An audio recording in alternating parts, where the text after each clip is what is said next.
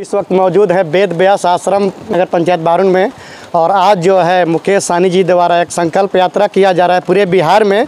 तो आइए इस विषय को लेकर जानकारी लेते हैं। संकल्प यात्रा किया जा रहा है सर पूरे बिहार में क्या कहना चाहेंगे? नहीं संकल्प यात्रा किया जा रहा है। हम लोग का राष्ट्रीय अध्यक्ष सरनापल्ला मुकेश सहनी जो है। ये 2014 से ही पार्टी को साथ में रह करके और अपना समाज को लेकर के आरक्षण को लेकर के पूरा समुदाय को इकट्ठा करने के लिए लगे हुए हैं।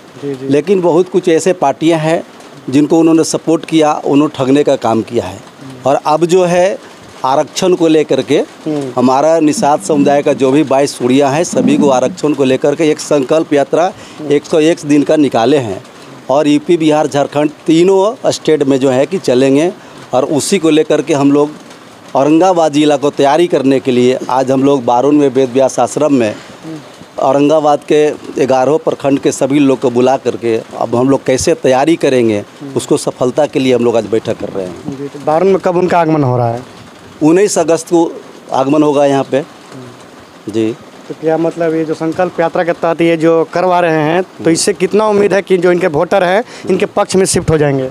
नहीं संकल्प यात्रा से हंड्रेड परसेंट हम लोग जो शपथ ले रहे हैं, हंड्रेड परसेंट जितना भी हमारा उपजाति है और दूसरे भी जाति के जो पार्टी में जुड़े हैं, सब एक मत से हमारा पार्टी के जो शीर्ष नेता जो है, सनप मल्ला मुकेश सहनी, उनकी बताई हुई विचारधारा पर वोट एक तरफ़ करेंगे, क्लियर है इसमें, कोई शक नहीं है। जिस दिन कार्यक्रम हो तो कोर वोटर की बात कर रहे थे कि हम लोग को सबसे पहले अपना कोर वोटर को तैयार करना होगा जितने भी हमारे कोर वोटर हैं। दो दो चुनाव लड़े उनको चुनाव में रिज़ल्ट मिल ही रहा है अच्छा। फिर भी वो अपने समाज पर क्यों नहीं उनको विश्वास है कि जो हमारा कोर वोटर है हमारे साथ नहीं है। नहीं नहीं ऐसा कैसे कह सकते हैं आप? नहीं, मुकेश साहनी जी खुद बोल रहे थे कि हमारा कोर जो वोटर हमारा हुआ वो नहीं छिटकना चाहिए। कहीं ना कहीं उनको दिमाग में ऐसा लगा है तभी तो वो संकल्प यात्रा कर रहे हैं।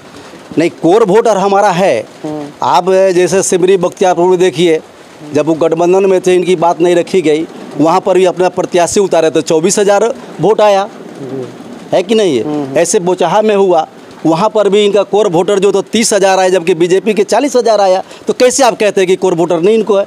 अभी जो संकल्प यात्रा में जो है hundred ten percent core voter के अलावे जो हमारे भारत का में जो भी है सभी समाज धर्म का लोग जुड़ रहे हैं। समझ जाइए कि ऐसे तो निषाद उपजाति के कोर वोटर एक है ही है लेकिन जो आज बड़े बड़े लोगों जुड़ रहे हैं सब जातियाँ का आपको देखने को मिलेगा भी।